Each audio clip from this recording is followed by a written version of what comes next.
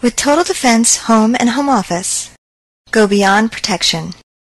Today's topic How to add programs to the trusted list in My Computer. Click Update Settings under My Computer. Click on Program Access, and this feature allows you to monitor and control programs. Click Add New to add a program. Click on the plus sign to expand the selection and select the file you would like to add.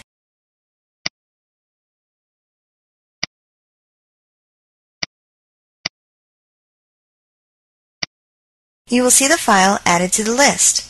Click Modify. You can change these settings to Trusted, Installer, Network Servers, and Blacklist. Click on the radio button to select the settings you want to apply. Click Save once you have selected the setting. This completes how to add programs to the trusted list in My Computer video presentation. Visit TotalDefense.com for more details. Thank you for watching.